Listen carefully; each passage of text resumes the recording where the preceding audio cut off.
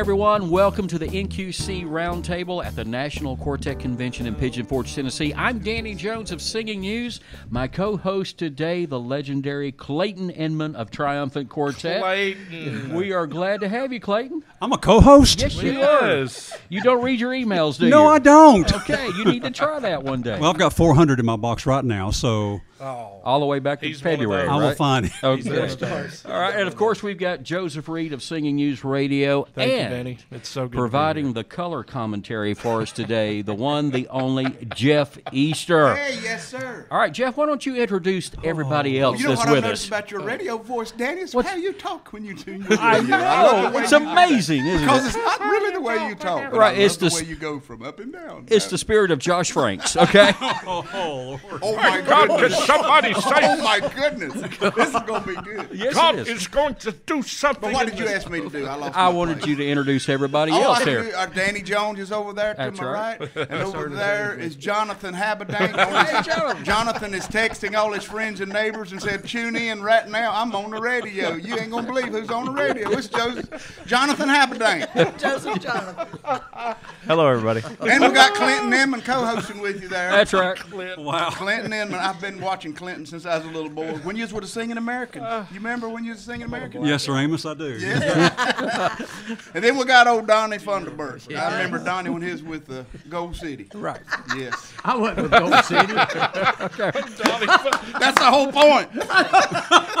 Just agree with me. I forgot. I forgot who Jeff uh, Easter Rabbit was. Well, of- all right. If you're sitting at home right now trying to think, now I don't remember gospel music that way. There's a reason for that. Okay. All right. Now let, us be serious here. We are having a Singing Americans reunion. What's really That's- happening here? really is. Look at here. Jeff Easter was with the Singing Americans. Danny and uh, Clayton. You're the only singer here Yeah, other I- than Sheri who was I not was with the Singing I Americans. sung on wasn't stage born with them yet. several times. That counts. So that counts. That counts. I wasn't born yet. No. You were probably a But I year was old. a big You might have been a year old. Right. Okay. What I would- year were don't- you don't born? say phrases like "I wasn't born yet" because you will lose friends quickly. That's here, right. Just, just They keep that in mind. They know it. year were you born, John? 85.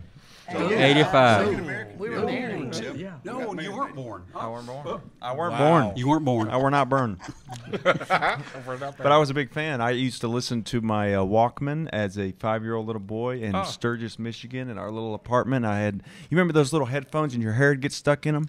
And you pull your hair, and you, those little, they were like foam. And I listened to that. What was that live singing Americans? No, it wasn't a live record. Live it was. Live? Was it live and live? Live Yeah, and live and alive. live. Did Live that have Live. the one about the Statue of Liberty?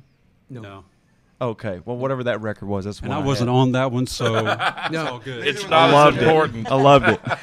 What I really enjoyed about that particular moment right there, we've got three ex-singing American members, and oh, neither one of them volunteered the single name of that album for They him. didn't. That's, that's They great. Thank you. They hung you out to dry right He's- What was the name of that record? I was going to let you do it They by don't yourself. know it. They don't Live know and it. I alive. just don't Oh, Live remember Alive. it. Okay, they don't That's remember. right. All right. It was probably the project that had Long and Winding Road and all those songs. Yeah. Yeah. Somebody burned my mom a cassette, and it was uh, against the law, but that's how I fell in love with gospel still music, is. breaking the law. yep, that was it. Listen to the burned. Uh, when they weren't burn them. Remember they put they put the cassette. They would they would copy it from one cassette. They Duplicate. duplicate, that yeah. duplicated cassette. Yeah. Not not burn as in light them on fire. It's the Yeah, but the that's other that's a kind. But CD did that burn. too. Yeah. Thankfully, not to the Singing Americans album. Exactly. well, let's go over to Jeff and Sheri Easter, the pride and joy of Lincolnton, Georgia. Yeah. Uh, Metropolis. tell us what's going on in uh, the world of Jeff and Sheri. The world of Jeff and Sheri, I have summed up this way. Uh, we sat at home at, in, during 2020. And so in 2022, we decided to do all of the dates for 2020, 2021, and 2022. We have worked longer, harder hours this year than I remember in the last 10. But it's been We've fun. it's been fun. We've recorded two albums this year. Wow. Uh, slated for release in February of 2023 for our next Jeff and Sheri project. October of 2023 will be our first Christmas CD in over 26, 27 years. Wow.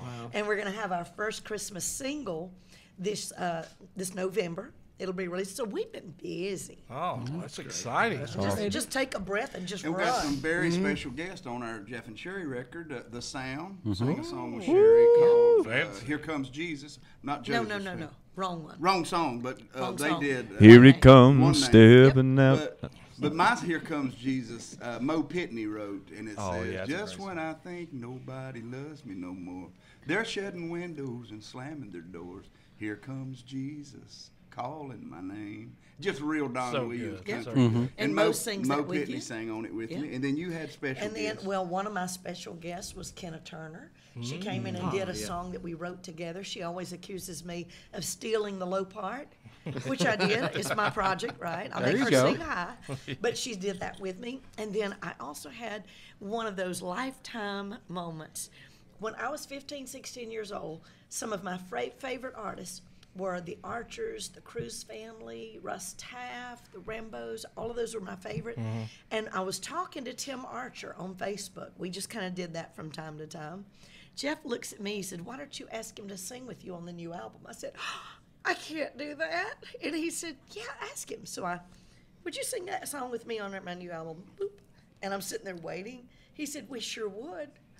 So I've hmm. got the Archers And they hadn't sang together singing "Sunshine on a Cloudy They Day." had sang together in 25 years and never sang backup. They've They never sung back up for another artist. Yeah. That's incredible. And, and so, awesome. so they they're coming in and they're doing that, and also they're doing their 50th anniversary live album. So, you know, I'm just a kid again. That's great I'm stuff. just a kid again. And, and, you know, Sheri, right now you're sitting next to a living legend. Uh, Absolutely. a, a lot of, uh, well, all of us in this room remember songs like "Whiter Than Snow." Yes. Uh, I just started living. I can see the hand, and that gentleman right there was featured on all those songs. Danny Funderburk. Danny I tell you Thunderbird. what, guys, that was a wonderful journey. You know, and I'm still out. I'm still singing.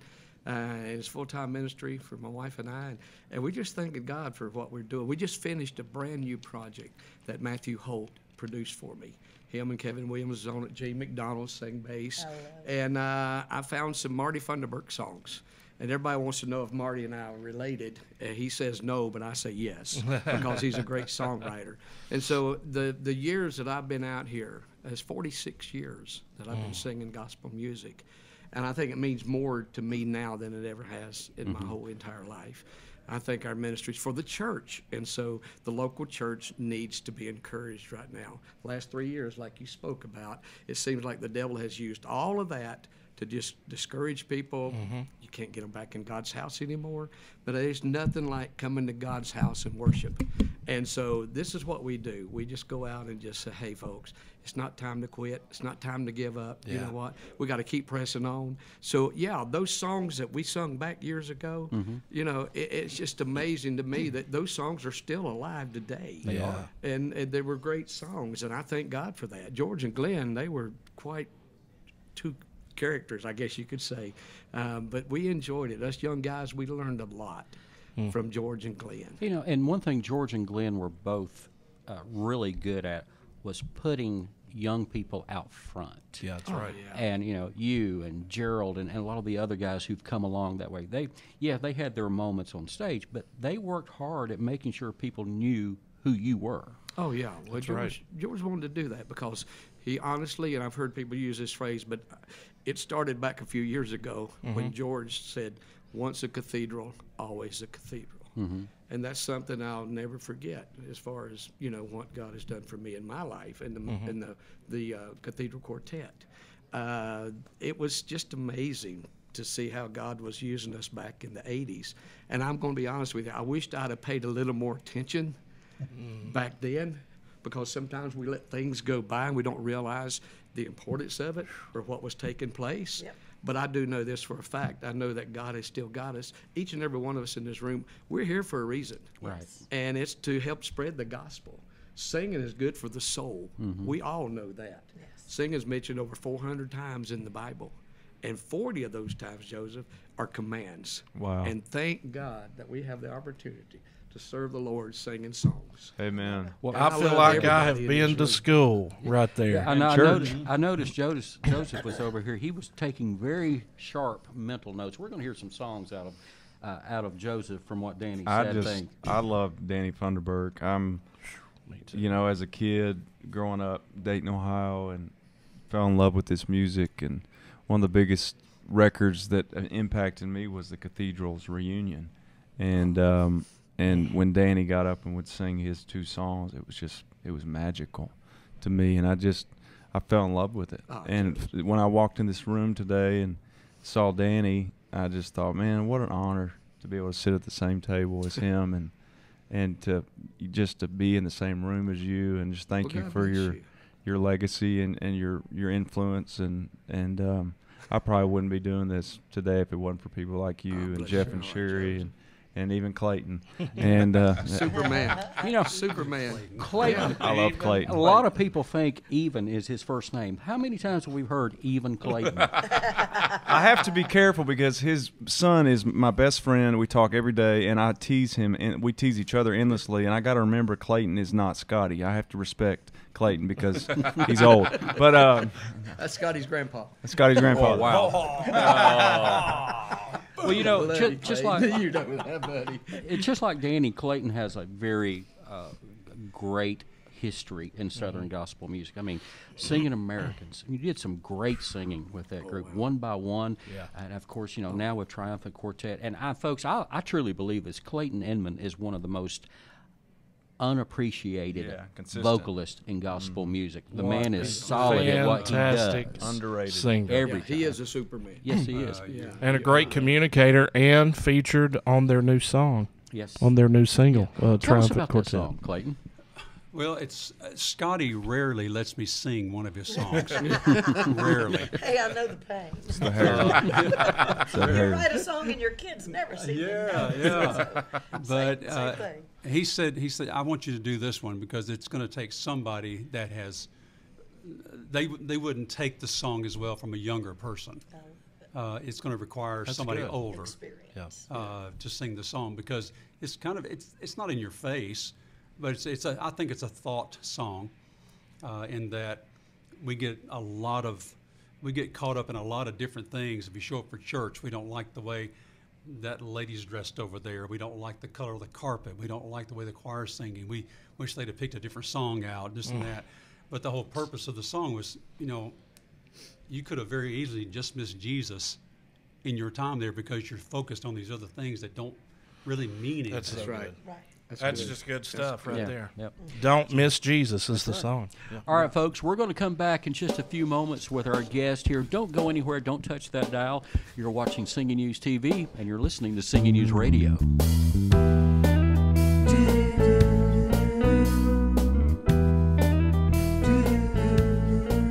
Welcome back to Pigeon Forge, Tennessee, the National Quartet Convention. This is the NQC Roundtable.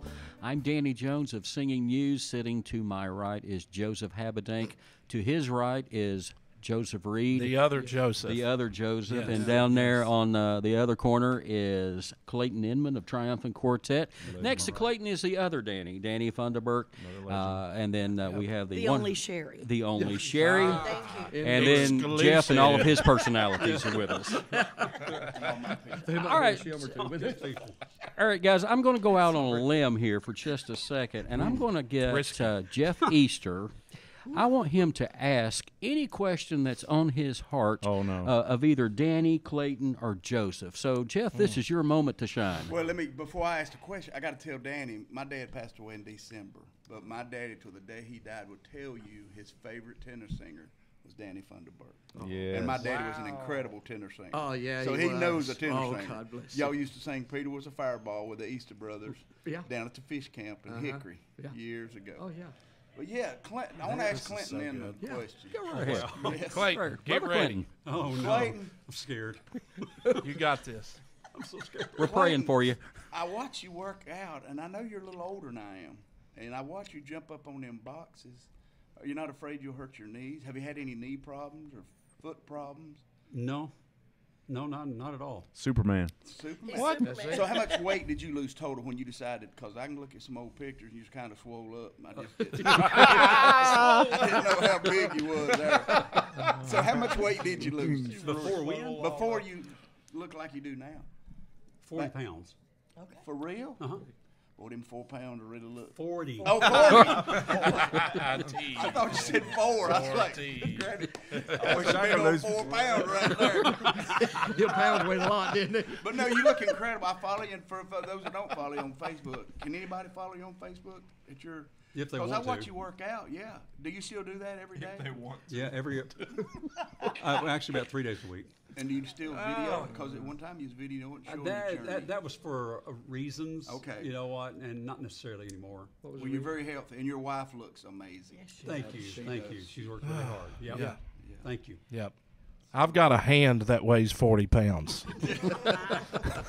A ham? It's this Did you one. say a ham? Ham right there. you know, throughout this entire conversation, uh, we, we we've heard references to the impressions that people have left upon us, and uh, of course, you know, all of our lives, Joseph, have been touched, especially by those four sitting over there. It can't even be described. Right. really. Joseph Habedank, now, he's in the position where the lives he will influence, a lot of those people he's not met yet. So, Joseph, when you Good point. when you when it's all said and done for Joseph Habedank, and you want people to remember how they've been impacted by your life, what do you want them to say about you? Oh man, that's a that is a great question. That's deep. Um, you know, as much as I, I you know, five years ago I'd have said I, I'd want him to say I was a good singer and good songwriter, and but man, the older I get, I just want them to say he was a good guy. He was a good man, and I don't know that I'm necessarily there yet, but I.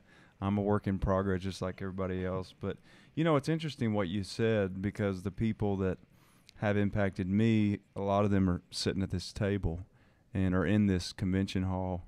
And I don't necessarily see the people that I am influencing or in, in, um, but but it can get a little discouraging sometimes because this industry is really built on legacy, older artists. Uh, in fact, the, it seems like the older you get, and I, I mean this very respectfully, the older you get, sometimes you become more successful.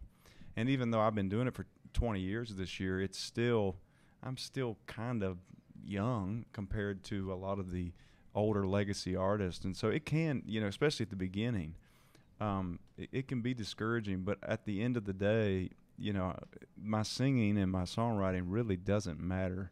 What matters is who I am when I walk off the stage, Yeah. and that's what I've had to learn the hard way. For anybody who knows my story, uh, because the person I am when nobody's watching, that's who I really am, and so that's when I want to be the best I can be. And uh, so yeah, that's what I. That's probably my biggest. As I get older, that's my biggest goal is just to be a, a good human being and a good husband, a good friend, and uh, I'll just keep working till I Yeah. till I get go. there. Yeah, you know, good. several years ago, um, Sheri Easter and I were talking at their homecoming event there in Lincoln. We remember the uh, time 30, 30, 35 years ago when all of us were the new kids on the block. And now, you know, we've we've all got a few miles on us. And we're we're all asked many times how do I be, you know, how, how am I su- going to be successful in gospel music? How do I get to where you are? And, you know, we all know there is no such thing as a true overnight success in this. You know, most overnight successes in Southern gospel music have 30 years of experience That's, with them. that's exactly right. And uh, Sheri has a wonderful way of putting thoughts into words. And uh, Sheri, if, if you could give a piece of advice that every rising gospel artist should listen to, what would you tell them? I actually did this today. We had lunch with the sound. Those precious two boys. Great and I was sitting there with Levi and Jacob. And I said, the one thing that I do regret, because I'm a doer, you know me, I'm a doer. And I try really hard to be, because I think it takes both. We've got to be doers and we've got to just be some days. And I said, I was so busy working from the times, you know, with the Lewis family and playing the, the uh, Lincoln Center and, and playing, you know, uh, Smithsonian. And then being with Bill Gaither, playing Carnegie Hall and the Red Rocks Amphitheater and, um, you know, all of those incredible venues, the Opry, the Ryman, so many of these huge um, domes and, and, and uh, convention centers. I said, and the hard part was I was just doing a job. So I was working. So I was doing. I was setting up stuff. I was taking down stuff. I was singing, making sure this was done, that was done, helping the product. And you get beyond it and you go, wow, that was so cool. That was so awesome to be able to do this. And so I looked at those two little boys today and I said, I know you want to be your best. I know you want to sing your best. I know you want to make every word and every mm-hmm. note count for Christ. I said, but when it all boils down to it, absorb Don't miss it. more Don't miss it. of the day to day. Do this more often. Mm-hmm. You know, mm. sit down with somebody that you care about, and and and and feel what's going on in the moment because a lot of the phone stuff is making us miss it. Yes. Mm. Mm. And that's So what's true. important mm-hmm. to It's so absorb true. these moments. It's like Danny was saying with the cathedrals, you know, just wish you'd have soaked it in a little bit. Yeah. It went by so fast. Yeah. I think a lot of times we don't we don't realize the importance. I mean, it's it's something that we're trying to reach for, mm-hmm. and we're. I've used this example many a times, even when I share with the people. I said, I love where God's got me. I've been around it my whole life. I said, I think what bothers me is when I see people singing and doing the work for the Lord, and they're actually looking back saying, God, why are you not blessing us? Oh mm. my. because they don't get it. Mm. They don't Because it. we should actually be looking forward and following in His footsteps. Yeah. Instead of doing something, like you said, going through the motions, just setting up, singing a song, and you know, and missing that moment to where you know what? If we're just being obedient to the Lord and say, "Okay, God, you lead me," hmm. you know, I'm not in front, you're in front, and watch what God can do. Hmm. He can make people change their minds. He can make people do things that they never dreamed that they would do for you and your ministry simply because you've been obedient and following in the footsteps of our Lord and Savior. And to me, that's what it's all about. I'm no one. Mm. I'm no one, but I'm somebody through Jesus Christ. Praise God. I've got one more question, and this is a very unusual question, and it's it's it's a very personal question. All of us around this table, we've all recently lost someone who is close to us. Yeah. And since that particular person has gone on, there have been times we wanted to pick up the phone and say, "Dad, guess what I did today? Mom, what you, you'll never believe what happened to me today." Oh, yeah. Mm-hmm. What is that moment for you, Jeff Easter? What What would you have really wanted to call James Easter and tell him? Well, one blessing I have, you know, the iPhones have Find My Friends, and Denise, my dad's widow, still has Daddy's phone activated. So every time I look at Find My Friends, I see my brother Rabbit, my sister, and it says Daddy's home. Yeah. So in my mind, Daddy's still in Mount Airy, North Carolina. And when I saw Daddy in the casket at the funeral home, I was like, you know what? He's not there. No. You know, that body's no more than the It's just a casket that he's in. It's just a shell. Yeah. And when I realized and saw the spirit, and my daddy was gone, he wasn't there. Oh, yeah. But there's lots of times that I want to pick up. I call daddy every week. Sure, Sheri will tell you. I said, I'm going to call daddy because I can. Every day I'd call daddy. I said, I'm going to call him, and now I can't. And it's tough, you know. Yeah. But uh, I got so many great videos. I was talking about put God first. When I was at my lowest point at 24 years old, I was with the Singing Americans, and I just felt like I didn't want to live anymore. I, and uh, I remember Daddy praying with me, and after the prayer, he said, "Put God first. Everything else will fall into place." Good daddy. And uh, he prayed with me, and two months later, I met Sheri. I mean, he prayed for me a pretty woman. I could have got an ugly woman. And look what she got, Jeff. kind of make me think about that song. Always marry an ugly girl. If She leaves you, you won't mind. No one was There's praying for Sheri. That's I'm, I'm just wondering what Polly was praying for Sheri. God didn't answer My that mama prayer. was praying for laughter, is what my mama oh, said. well, you she got to got- go through the hard stuff, you need a Jeff Easter in That's. Oh, that's there you go. exactly So right. he's been I good as believe gold. that. Joseph, I'm going to ask you the same question. Yeah, so I lost um, my grandmother this year. I- It's funny. It's not funny, but now I'm losing my grandparents, and it's difficult for me. And I told my wife, I said, I can't imagine losing my parents. Yeah. Because it's hard when you lose a grandparent, I- and I'm sure it's that much harder when you lose a mom and dad. And I can't imagine. But, um, you know, I, I remember calling her on Mother's Day, and she was getting ready. She had they found cancer in her nose and up into her brain, and they were she was going to have surgery. And I said, Grandma, do you want me to, uh, do you want me to come up before the surgery, or do you want me to come up after when you're better? She said, just come up after. She said, I'll, I'll be. She she thought she was going to make it. Right. Well, come to find out, she'd gone through her closet and her clothes were gone. She knew she wasn't coming home. She Oh, she got rid of everything. She wouldn't tell us. She didn't want me to go out of the way, and so I guess for me, I probably wish I would have taken that trip. But there was no way to know.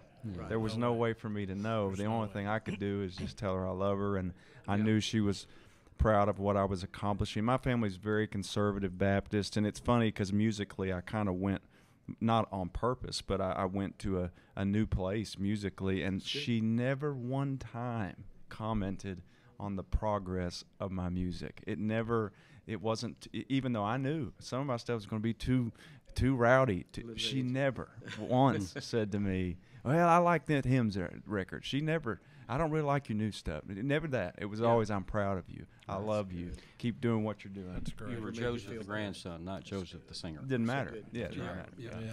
That's the truth. Yeah. Well, Clayton, I know you've just come through a very difficult time uh, with the loss of your mom, and um, nobody has any doubt whatsoever where your mom is today. Yeah. And uh, your mom was a great example of what a Christian woman should be like, and uh, I know you're proud of her. Yeah, yeah, really, really am. And and the beautiful thing, yeah, if there's a beautiful thing out of it, uh, she's been able to be a part of the last almost 20 years triumphant too. So she's seen it all and, and been a part of a lot of things that, that we would have. And it, it was a, it was an honor and a thrill to know that she was there. Uh, and she was she was my like Joseph. She was my biggest fan, uh, and she would let Eric know that. If Eric said anything bad about me on stage, he heard about it later. You know, he- although he was joking. I love that. My dad passed away in 2002, and at that time I was with One by One, and Scotty had only been singing with Phil Cross and Poet Voices for maybe a few months, since October maybe, and on January 5th, Poet Voices was coming was coming to Memphis to sing, and my dad was excited to go see him because he'd not heard Scotty sing at all with another group. Well, my dad passed on the fifth, the morning of the mm. fifth. So if I was to the ability to call him, Come on. yeah. Yeah, but Take your time. Take your time. hey, Dad, we're okay. And you ought to hear Scotty. Exactly. Pretty awesome. I believe he has. He has. He's got the best seat in the house. you better believe it. that. But It's pretty awesome. those are things that have been great for him to see because he loved the music, he loved it, us singing it. And so anyway, that's that, that would have been my call to him. And I want to say to Clayton, I, I just want to thank you for for raising the son that you did, the the friend that he's been to me um, since I've gotten clean and, and sober, and he- uh, it's it's unbelievable the, the times I've called him, and he's just I've been discouraged, and he'd say something that lifted me up, and man, you just did an amazing job Yes. at teaching him how to be a, a good human being and uh, and to love people and he just he's just a good man. And you're and I know you raised him and so thank you just want to say thanks Scotty's one of the very few when Small Town came out. He just made a special call. He said, "Wow, he like yeah this song, who wrote it?" And said, "This, He's always there with an encouragement. Mm-hmm.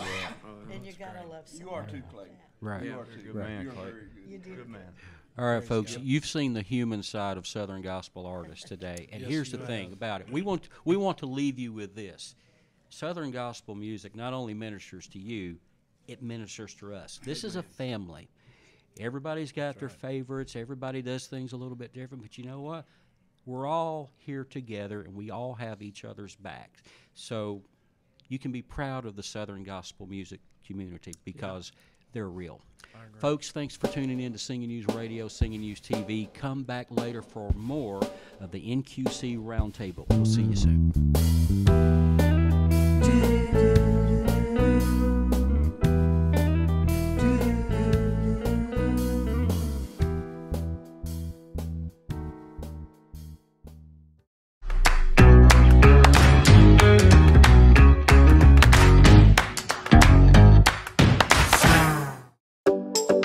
It's the most well known publication in Southern gospel music. With a 50 year history as the voice of an industry, it's the Singing News Magazine.